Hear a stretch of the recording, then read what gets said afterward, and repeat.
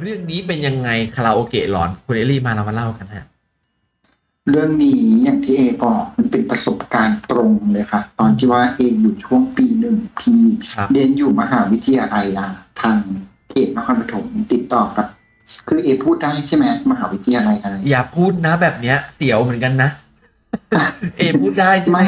ไม่ครับมันมันมันไม่มีมันไม่มีอะไรเกี่ยวกับมหาวิทยาลัยอ่าคือตอนนั้นเอเรียนอยู่อ่ามหิดลค่ะครับช่วงปีหนึ่งอืมค่ะ คือช่วงนั้นน่ะมันเป็นช่วงที่แบบว่าหัวเดียวหัวต่อเนอะพี่เนาะอืมเป็นแบบว่าช่วงที่แบบว่าไม่ว่าใครพูดอะไรมันก็ไม่เข้าหูอะพี่เป็นช่วงวัยรุ่นอารมณ์อารมณ์หนูเชื่อว่าทุกท่านน่ะต้องเป็นอารมณ์นี้ถ้าสมัยผมอะถ้าสมัยผมอะเพื่อนจะจะด่าผมด้วยคำนี้เลยว่า มันมันหน้ามันโหนก ใช่อารมณ์ประมาณนั้นพี่อืมส่วนนิสัยเอนี่จะเป็นคนที่แบบหัวร้อน ใครครับพูดอะไรไม่เข้าหูนิดหน่อยนี่เอจะชอบวีนชอบเหวี่ยงแม้กระทั่งคุณพ่อคุณแม่เนี่ยค่ะจนกระทั่งแบบว่าเอตัดสินใจแบบว่าออกไปอยู่หอพักด้านนอกอย่างเงี้ยพี่อ่าในช่วงเวลานั้นคือเราแบบว่า เอต้องใช้คำว่าหนีออกจากบ้านดีกว่าพี่อืมหนีออกจากบ้านไปอยู่หอพักเลยอย่างเงี้ย ครัหบอพักส่วนตัวเลยคือแบบมันน้ามันโหนกมาพี่ก็ชวนเพื่อนคนคนนี้มาหากันอย่างเงี้ยปรากฏว่าอีนู่นก็ไม่มีตังค์อีนี่ก็ไม่มีตังค์ปรากฏแดกแกลบครับพี่ใช้ภาษาแบบเออภาษาเพื่อนนี่เลยคือแบบแดกแกลบเลยค่ะ คือแบบเอก็ไม่รู้จะทำไงดีวะจะทำไงดีวะกูจะหาตังค์ที่ไหนมาทั้งเรียนทั้งนี่รู้งี้กูไม่น่าหนีออกจากบ้านเลยอารมณ์ประมาณ เอก็เลยตัดสินใจ โทรหาเพื่อนที่ชื่อว่าอายเนี่ยค่ะบอกอีอายมึงมีงานอะไรคือทำอะไรเงี้ยมันก็บอกว่า เอ้ยมีนะเว้ยมีร้านคาราโอเกะที่หนึ่งมึงอยู่แถวนครปฐมคือเอง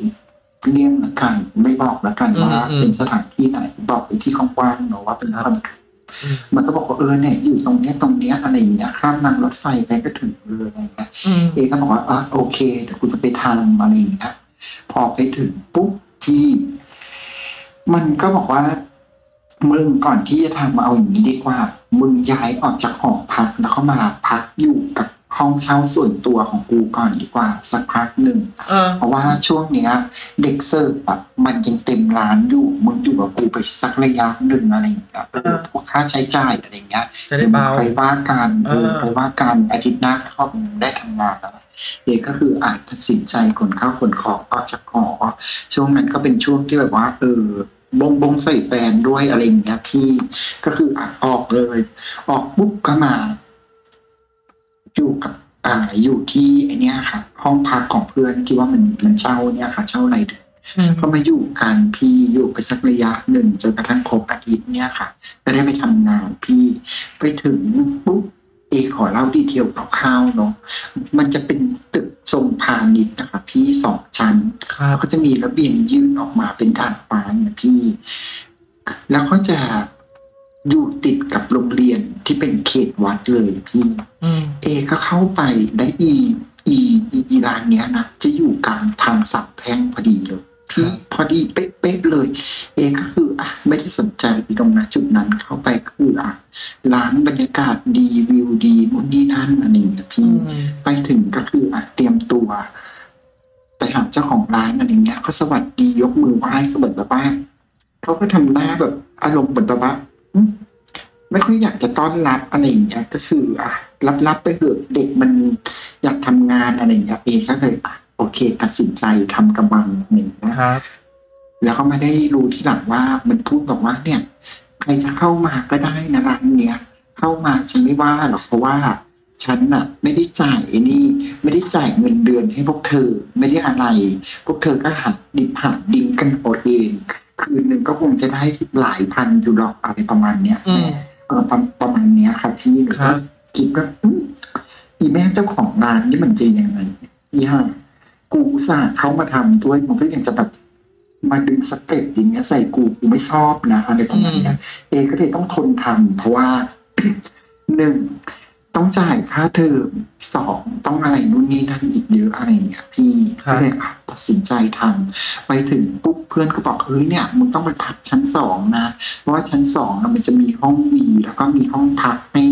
พวกพนักงานอะไรเงี้ยพวกเด็กเสิร์ฟอะไรเงี้ย ไปถึงปุ๊บพี่มันจะมีเหมือนอารมณ์ระเบียงยื่นไปทางด้านหลังเว้ยไปถึงขึ้นบันไดขึ้นไปปุ๊บเอชนะเลยค่ะพี่ทำไมคือบรรยากาศวิวดีเลิศหรูอลังการมากพี่ ด้านหลังคืออะไรรู้ไหมคะครับอัฐิโกดกระดูกค่ะพี่โอ้โหอุ้ยใช่อัฐิโกดกระดูกแล้วก็เป็นอารมณ์คล้ายๆกับเหมือนแบบว่าพวกห่วงซุยอย่างเงี้ยของคนจีนนะพี่แล้วก็เป็นพวกโกดังคือว่ามันเป็นโกดังปูนสีเหลี่ยมๆอะพี่พี่ต้องเคยเห็นครับมันจะเป็นโกดังแบบโกดังโบราณเลยอะพี่แบบเรียงเรียงเรียงกันเลยเองบอกอืโอ้มโหหาวิวดีน้อง ยายเดี๋ยวนะน่ามานั่งคำว่าโกดังเนี่ย เราเรียกว่าคอนโดเสียบเสียบศพได้ไหมมันไม่ใช่อย่างนั้นกับพี่มันไม่ใช่แบบว่า ที่เก็บอัฐิพี่มันไม่ใช่อย่างนั้น แต่มันเป็นการเก็บซากซากศพพี่ที่อยู่ในในโรงที่มันเป็นปูนซีเมนต์อะพี่ใช่ใช่อันเดียวกันรีงอะอันเดียวกันกับที่ผมพูดเลย มันเป็นโกดังเก็บศพว่างั้นดีกว่าอะ ใช่ครับพี่อ่า อารมณ์ประมาณนั้นเลย เออุทานออกมาโดยอีอีไอคือมึงอีหลอกดูวิวดีมากชักป้านหนูบอกอย่างเงี้ยมึงนั่งมานั่งจิบกาแฟแดกตอนเช้านะมึงต้องบรรยากาศวิวดีดีหนูบอกอย่างเงี้ยครับ บอกอีไอเขาบอกเออมึงก็ทำเป็นตลกเถอะเออเออมึงยังไม่รู้อะไรดีเกี่ยวกับประวัติร้านนี้หนูก็น่าซิดไปแล้ว ครับ ไปถึงก็คืออะเก็บข้าวเก็บของไม่อยู่นี่ยายก็คืออะ ออกจากอี อีที่พักของมันเลยมาอยู่กับร้านหมูอ่า มาอยู่ร้านกับหนูคือโดยตรงเลย ช่วยกันนู่นนี่นั่นก็คือแบบว่าก็ต้องมีการจ่ายค่าน้ำค่าไฟให้กับที่ทางร้านอีกเนี่ยพี่ครับเดือนละสองร้อยสามร้อยอย่างเงี้ยมาเขาว่ากันไปอาหารทันโอเคยิ่งดีกว่า ไปจ่ายค่าเช่าสองสามพันใช่ไหมล่ะอืหมนูเลยตัดสินใจเข้าไปโอ้โหพี่ดันเข้าไปในห้องปุ๊บหนูนึกว่าจะดีพี่วี คือเราที่มองด้านนอกมันเป็นตึกสองพาณิชย์อะอืมเองคาดว่ามันน่าจะเป็นปูนทั้งหลังใช่ไหมล่ะครับพอเข้าไปในห้องเด็กเสิร์ฟเป็นไม้กระดานนะพี่ ไม้กระดานที่แบบไม้กระดานโบราณเลยอะเดินเข้าไปแล้วเสียงดังดังออดแอดออดแอดออดแอดเนี่ยนะพี่อ่าแล้วเข้าไปคือแบบว่าโอ้โหกลิ่นแป้งกบแป้งหอมนี่คือแบบพึ่งอบตะรวนเลยพี่คือแบบว่าว้า คิดในใจสิบห้ากูอยู่ไปเนี่ยผีนี่บ้านผีเรือนจะแหกกี่โบกมาอะไรประมาณเนี้ยพี่เออเออเออกูจะถามเออครับกูยิ่งสัปปะดีสีบดลจังรีจังไรอยู่แล้วเออเกินมาอ่ามมานานมึงอยู่นี่พี่จะหักคอไหมเราคิดในใจเอออย่างเงี้ย เออ เอกก็เออโอเคทนอยู่ไปพี่จนกระทั่งคืนแรกเนี่ยค่ะ ได้ลงไปทำงานอะก็คือว่าดีก็ได้รู้จักกับเด็กเสิร์ฟคนนู้นคนนี้อย่างเงี้ยอืมแล้วก็มาได้รู้จักสนิทสนมกับนางชนี ตนหนึ่งเอต้องใช้คำนี้เนาะครับคือต้องเรียกมันว่าตนเพราะอีนี่มันสับปะดีสีไปดนสารเดวมากเอต้องใช้คำว่าตนกับมันใช้คำว่าคนไม่ได้อีกคนเนี้ยมันเกินคน เอก็คบกับมันก็คือด้วยความที่ว่ามันแลกกันขยเยอะมากอะมันก็พาเอไปนั่งโต๊ะนู้นโต๊ะนี้โต๊ะนั้นก็ทำให้เอแบบว่าได้ดินได้นู้นนี้นั่นคืนมันก็ตกถูงหลายพันอยู่พี่วีคือพูดอย่างนี้เลยได้หลายพันอยู่ไหนจะแบบว่า เออเอก็ยังแต่ว่า พูดกันตามตรงเลยเนาะก็คือยังมีออกแขกอะพี่วีต้องรู้จักคำว่าออกแขกนะไม่รู้อะครับว่าก็คืออารมณ์คล้ายๆเหมือนกับว่า ไปกินกับเขามาไปกินกับลูกค้าอย่างเงี้ยเหรอ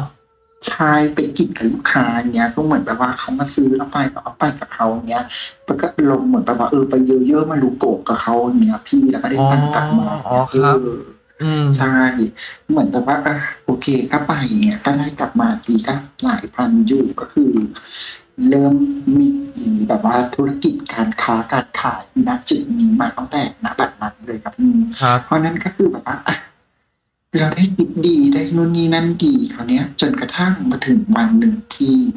เอจะต้องยกปีอ่าเอจะต้องเดินเข้าไปทางด้านในครัว ที่อืมด้านหลังตู้คาราโอเกะครับมันจะมีเหมือนอารมณ์คล้ายๆกับเหมือนเป็นบาร์ให้เราแบบว่า ไปชงน้ำไป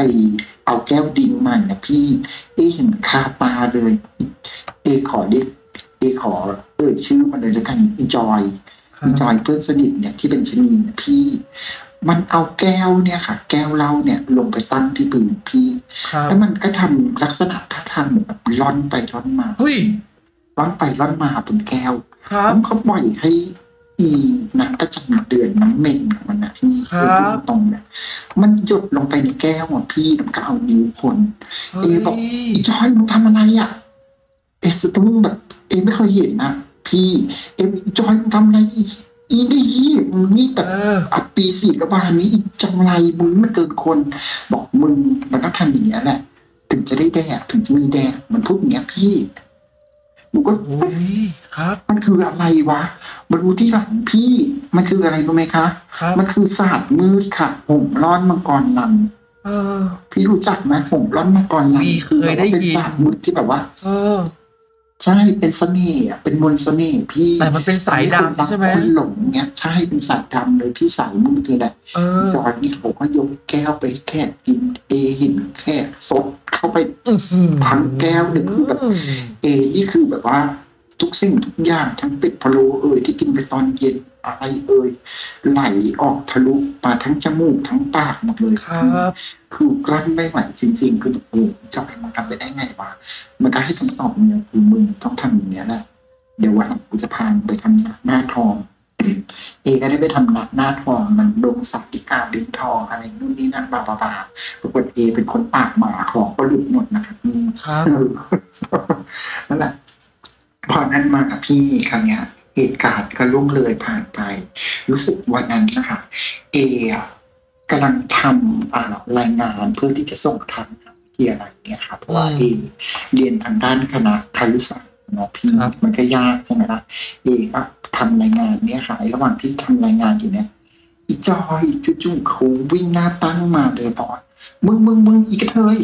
เอกำลังนั่งอยู่กับอีไอแล้วก็อีหญิงเพื่อนสาวเนี่ยอ่าที่เป็นกระเทยทำแก่ครับกำลังนั่งกันอยู่อีจอยก็วิ่งแหกปากมามึงมึงมึงอีกระเทย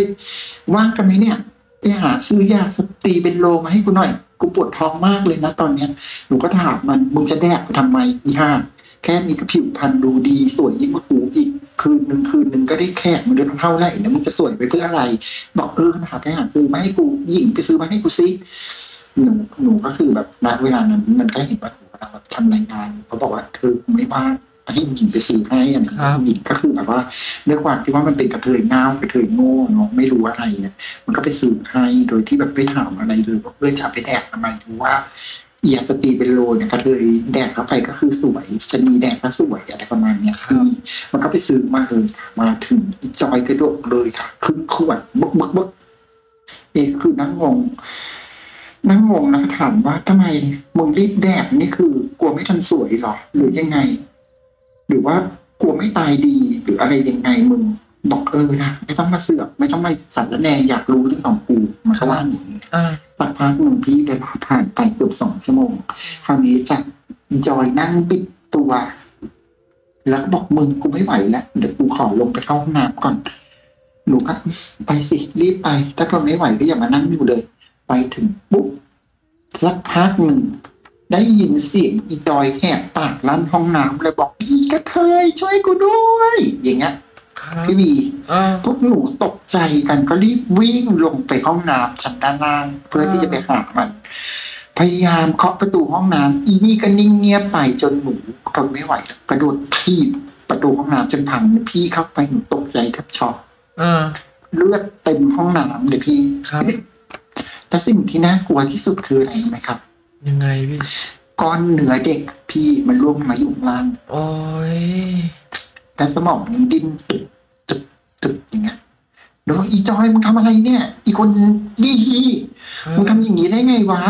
ทำไมมึงถึงไม่ปรึกษาพวกกูก่อน แล้วแม่งบาปกรรมมาอยู่กับพวกกูเนี่ยมาอยู่กับอีหญิงเต็มๆแล้วมึงทำไมถึงทำกับเพื่อนอย่างนี้วะเออมึงแม่งไม่รักลูกกับ อีเลี้ยเหี้ยเอ้ยคือแบบหมามันยังรักลูกเลยทำไมมึงถึงทำอย่างนี้อะไรอย่างเงี้ยอืมอีจอยก็คือแบบหน้าเขียวหน้าซีดหนูต้องโทรเรียกรถแอมบูเลนซ์อะโรงพยาบาลนครปฐมอะให้มาลากตัวมันไปอะพี่อ่าแล้วเก็บพวกซากเด็กไปอะครับหนูคือแบบอื้อหือน้ำตาหยดเลยนะคือแบบมึงทำอย่างนี้ได้ไงในใจคิดอะเพื่อนอะซวแม่ยใช่เออ คือแบบพี่บีเข้าใจอารมณ์หนูไหมคะเข้าใจความคิดของหนูคือแบบว่า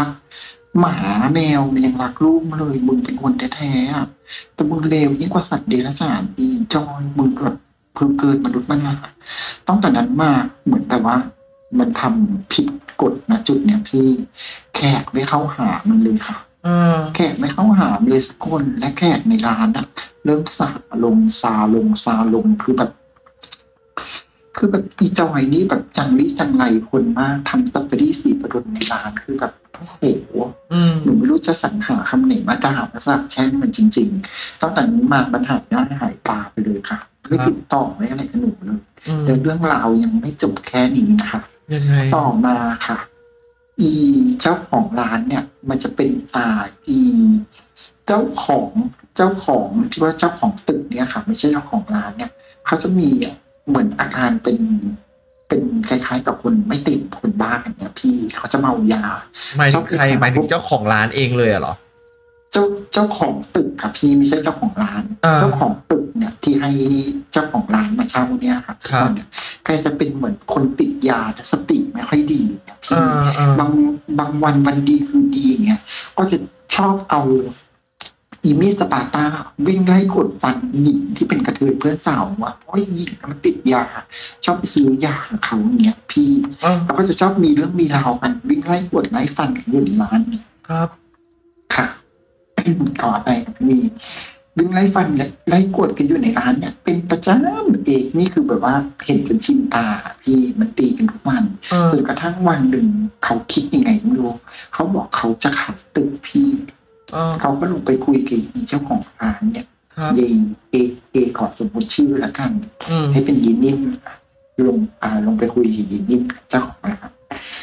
บอกอีนิ่มกูอะอยากขายตึกนี้ให้มึงว่ะเขาพูดอย่างเงี้ยตะเล็กอะ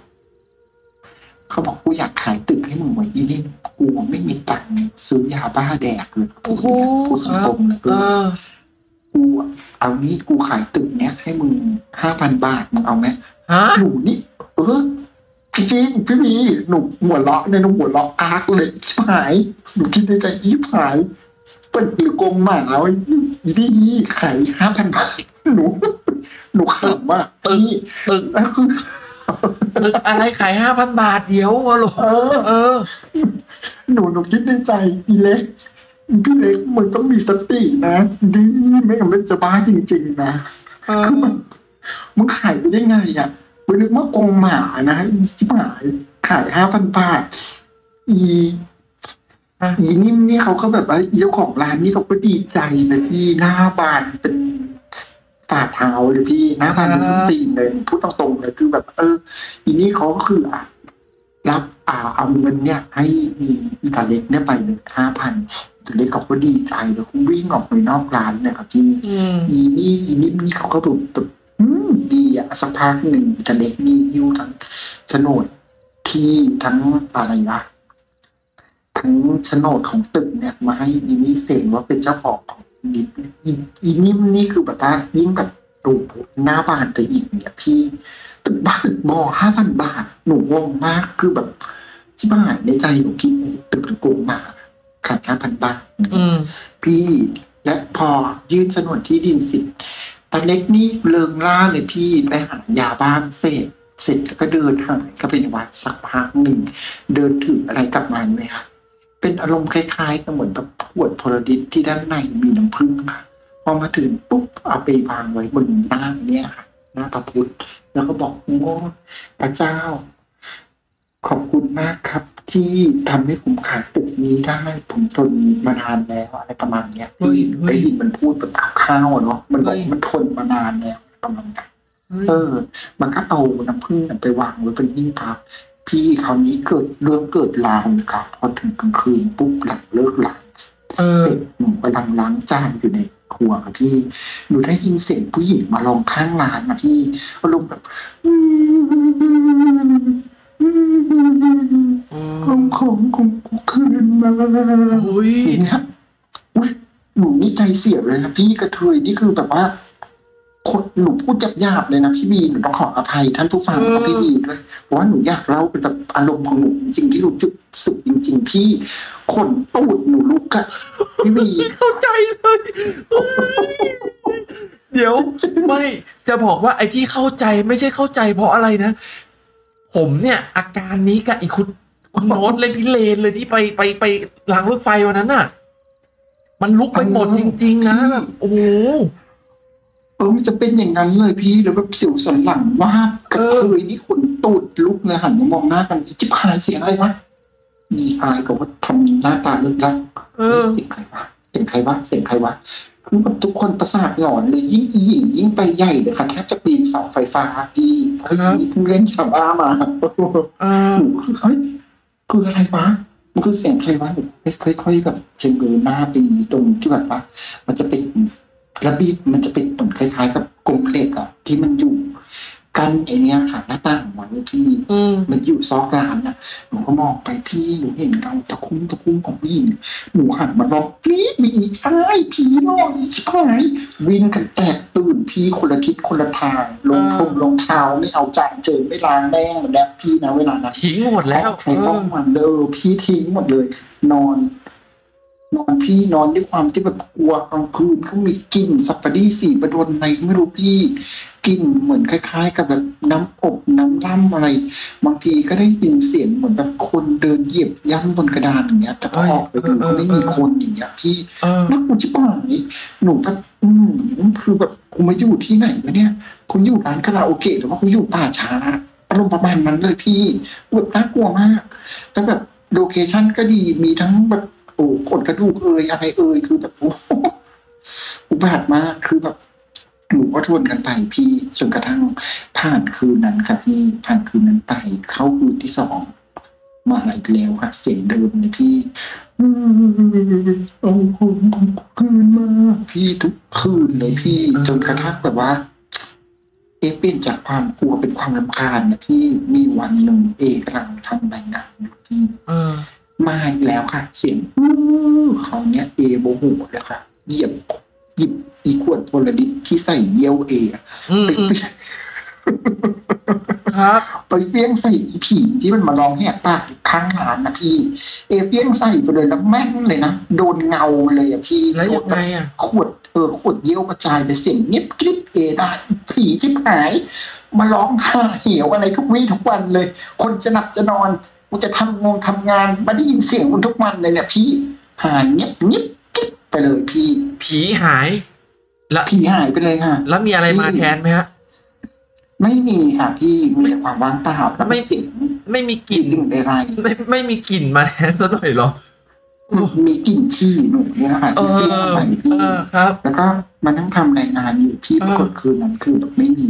แต่มาเข้าอีกคืนถัดไปมาอีกแล้วค่ะสเต็ปเดิมอื้อเอาของกูคืนมาคราวเนี้ยหนูอยากรู้เลยหนูชวนพี่ไออีกออกไปที่ด่านฟ้าก็จะเงินมองอะอืมมึงดูสิมึงมาแหกปากมันมาแหกปากทำอะไรมึงดูสิว่ามันจะทำอะไรอีก พี่คราวเนี้ยหนูก็พยายาม ยืนมองมันเนาะตรงด่านฟ้าที่อืมพยายามจะเงื้อมองมาอยู่ตรงด่านฟ้าที่เพราะว่ามันจะมีซอกลานใช่ไหมครับหนูเห็นมันเอามือพี่รอดเข้าไปในกลมเหล็ก ลูกกลมเหล็กที่ว่ามันกั้นหน้าต่างพี่เออเอามือชี้เข้าไป ตรงหิ้งพักที่มีขวดน้ำผึ้งอะครับบอกอื้อเอาของคืนมาเอะเก็ตได้เลยค่ะ มันต้องมีอะไรสักอย่างเกี่ยวกับอีขวดน้ำผึ้งนรกนี่แน่นอนเลยครับ อุ้ยอุ้ยอุ้ยเอะเก็ตเออเป็นเอ๊ะขวดน้ำผึ้งเหรอ ใช่ขวดน้ำผึ้งพี่เอะเก็ตเลยมันต้องมีอะไรบางอย่างติดขวดน้ำผึ้งนรกที่ครับตาเล็กมันไปเอามานี่แน่นอนเลยเออพอถึงตอนเช้าปุ๊บเอเอาขวดน้ำผึ้งลาลงจากยิ่งฟ้าเลยแล้วก็วิ่งไปที่ห้องตาเล็กเคาะประตูปุ้งปุ้งปุ้งตาเล็ก แก้วขวดน้ำผึ้งนี่มาจากไหน เขาก็ไม่บอก เขาก็ได้จะด่าหนูว่าพวกมึงนี่มันจังไรมือ ไม้กันจริงไปหยิบน้ำพึ่งกูลงมาทำไมอะไรเงี้ยบอกเอานี้ตาเด็กเดี๋ยวกูให้มึงร้อยหนึ่งแล้วมึงบอกกู ว่ามึงไปเอาน้ำพึ่งมาจากไหนตาเด็กจับเอาตังหนูไปปุ๊บหน้าตาเริงร่าอยู่พี่ไปซื้อยาบ้ามาเสพเสร็จ ปุ๊บอารมณ์ดีกลับมาบอกเนี่ยน้ำผึ้งอะเดี๋ยวกูพวกมึงอยากรู้ใช่ไหมเดี๋ยวกูจะพามึงไปอะไรอย่างเงี้ยอืมนางก็พาหนูเดินเข้าโรงเรียนเลยพี่ล็อกวัดเข้าไปไปถึงหลังร้านเนาะที่ว่าจะเป็นโกดกระดูกเป็นคอนโดมิเนียมของผีเนี่ยพี่ไปถึงปุ๊บเฮ้ยเฮ้ยเฮ้ยเฮ้ยมันก็ชี้ให้หนูดูเนี่ยกูเอามาจากโกดังนะพี่เฮ้ยมันไม่ใช่น้ำผึ้งแล้วเนี่ย มันจะเป็นแบบ มันจะเป็นแบบว่า มีรูปหน้าศพเป็นผู้หญิงอะพี่ผู้หญิงอายุกลางๆคนเนี่ยพี่เออ เออ แล้วบนหัวโกดังเนี่ยครับครับ มันจะมีรอยแตกๆตาเล็กบอกว่าเนี่ยกูเอาน้ำผึ้งมาจากข้างในเนี่ยกูเอามือจกมือดวงเข้าไปชิบหาย มันไม่ใช่แล้วน้ำผึ้งมาจากศพ น้ำผึ้งมาจากศพค่ะพี่ เอบอกตาเล็ก ฉันขอซื้อต่ออีกร้อยหนึ่งนะเอก็เอาตังค์ยื่นให้ตาเล็กเป็นสองร้อยแล้วค่ะ ก็เลยเอาอีน้ำผึ้งเนี่ยค่ะ มาเทคืนกลับไปที่หลุมศพพี่ตั้งแต่วันนั้นมา ไม่เคยได้ยินเสียงอะไรอีกเลยครับพี่ ไม่เคยได้ยินเสียงผู้หญิงมาแหกปากร้องข้างร้านอีกเลยแต่เรื่องราวยังไม่จบแค่นี้นะคะพี่ด้วยความที่ว่า เออะทำงานที่ร้านเนี่ยเนาะแล้วมันจะชอบมีเสียงแบบ ประหลาดประหลาดกอกแกกกอกแกกมีคนครับเดินไปเดินมาเนี่ยอยู่ตลอดเวลาในยามกลางคืนนะพี่เวลาเอเปิดประตูออกมา ก็จะไม่มีใครเลยพี่มีแต่ความว่างเปล่าเออมีอยู่วันหนึ่งเอกำลังนั่งนั่ง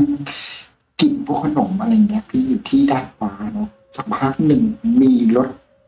โตโยต้าเออสี่ประตูสีดำมาเลยครับพี่บิดมาอย่างไวเลยเอเห็นแล้วชิบ หายนั่นรถพ่อกูคพรัวบกมึงบอกแล้วว่าอีโยไม่อยู่หนูบอกเนี่ยอืมอืมอืมอืมอืมอีโยไม่อยู่อีโยไม่อยู่ผมบอกอย่างนี้นะพี่หนูไม่รู้ว่าหนูจะไปแอบที่ไหน